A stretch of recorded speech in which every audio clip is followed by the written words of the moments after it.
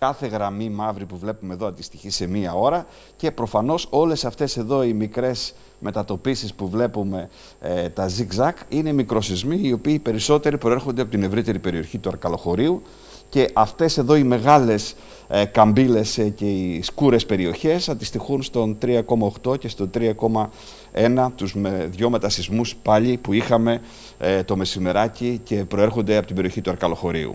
Η Κρήτη είναι στο στόχαστρο του Εγκέλαδου καθώς το φαινόμενο είναι σε εξέλιξη εδώ και σχεδόν τέσσερις μήνες. Άμα περάσουμε αυτές εδώ τις οθόνες και τις γυρίζουμε προς τα πίσω, σχεδόν κάθε μέρα θα δούμε κάποιες καταγραφές από όλο το Αιγαίο. Δεν σταματάει η σεισμική ακολουθία, ούτε είναι ένα φαινόμενο που το καταγράφουμε τώρα. Ουσιαστικά και τις προηγούμενες ε, περιόδους που δεν είχαμε αυτή την έξαρση τη σημερινή, σχεδόν κάθε εβδομάδα είχαμε ένα σεισμό από 4 μέχρι 5 ρίχτερ γύρω από την Κρήτη.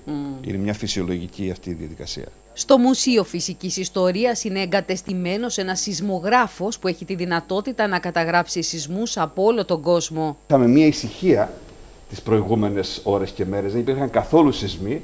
Έγινε ένας μικρός σεισμός, αλλά αυτός είναι μακρινός και χωρίς κανένα στην ουσία ε, μετασυσμό είχαμε κατευθείαν τον 6 και στη συνέχεια τους μετασυσμούς ε, που ακολούθησαν και την πυκνότητα μετά των ισχυρών και των μικρών μετασυσμών. Η διάρκεια από αυτούς τους σεισμούς γενικά το Αρκαλοχωρίου είναι πάρα πολύ μικρή, γιατί είμαστε πολύ κοντά στο επίκεντρο. Οπότε τα σεισμικά κύματα που μας στάνουν έρχονται με μεγάλη ταχύτητα.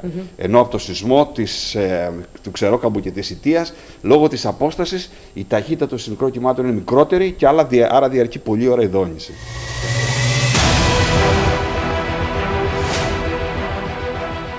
Οπότε ξεκινάμε. Οκ. Ωραία.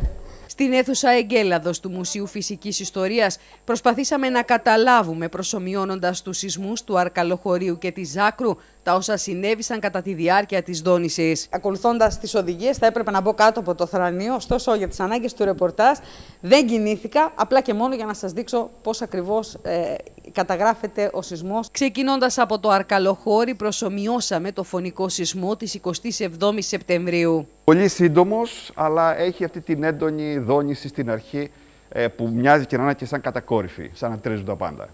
Αυτό που έλεγαν στο σεισμό του Αρκαλοχωρίου είναι ότι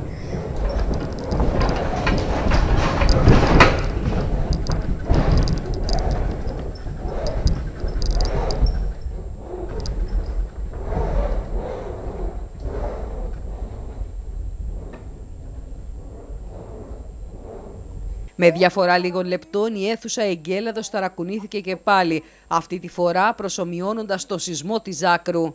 θα μπορούσα να σταθώ πάνω εδώ; Στον προηγούμενο σεισμό πολύ δύσκολα. Εδώ ενδεχομένως αν κάποιος έχει καλή ισορροπία να μπορεί να σταθεί. Θα το δοκιμάσουμε. Λόγω της απόστασης ξεκινάει πιο ομαλά. Μπορεί τους τελευταίους μήνες να κουνιόμαστε διαρκώς πάνω στο νησί και κανείς να πιστεύει πως έχουμε αρχίσει να συνηθίζουμε.